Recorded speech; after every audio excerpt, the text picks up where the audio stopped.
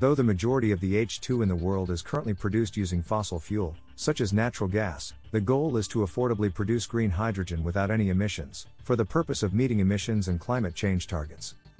Though H2 can be used without greenhouse gas emissions, the way it is produced is critical. Once produced, H2 can be used in zero emission vehicles, fuel cells, home heating, and other applications.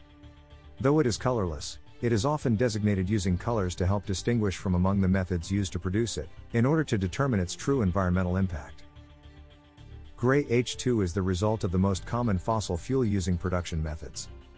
Green, on the other hand, is a production method powered by renewable energy, such as wind or solar, and that does not result in any greenhouse gas emissions throughout its production.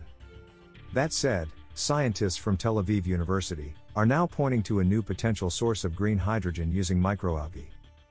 The researchers are hoping the new green hydrogen method will boost the transition away from fossil fuel. The team was led by doctoral student, Tamar Elman, under Professor Iftach Yacoby's supervision. They worked in the Renewable Energy Laboratory of Wise Faculty of Life Sciences. They hope this use of microalgae will help to accelerate the industrial transition away from gray H2 toward renewable H2 instead. The researchers published their findings in a paper called Enhanced Chloroplast Mitochondria Crosstalk Promotes Ambient Algal H2 Production, in the Cell Reports Physical Science Journal. In that paper, the researchers detailed their study of a mutant strain of microscopic algae which permits for the production of H2 via photosynthesis. The scale by which the zero emission fuel is produced would meet the demands of industrial requirements, said the researchers.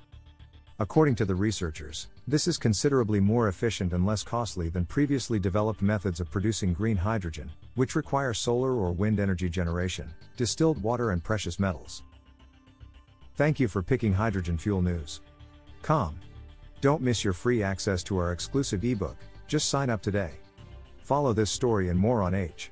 F. N.